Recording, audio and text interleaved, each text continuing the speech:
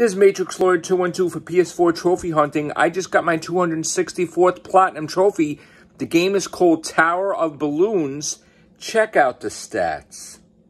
Okay, so we got 553 stars at 21%, 6,779 trophies, 264 Platinum trophies, 2,428 gold trophies, 1,447 silver trophies, and 2,640 bronze trophies. Okay. The game is called Tower of Balloons Odorific Arcade.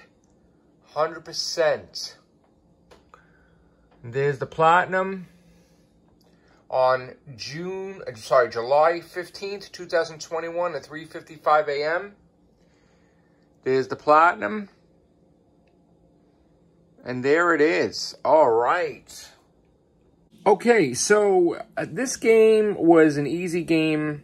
I didn't enjoy it that much. Um, I had some issues with odorific games in the past where every single time I got the game, they changed my avatar and really pissed me off for some reason. This time that didn't happen, but this game was very annoying because they didn't put enough balloons in there. The control, like the way the controller, the way you control the thing wasn't it didn't look like they put some tender love and care into this game like other games. So um, I wasn't happy with this game at all. It's not one of my favorites. Um, I'm glad I platinumed it, and hopefully their games get better. Um, but again, I didn't I didn't enjoy this at all.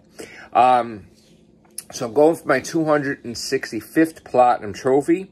Uh, don't know what it's going to be, but please like and subscribe. Leave your comments down below. Take care. Bye for now.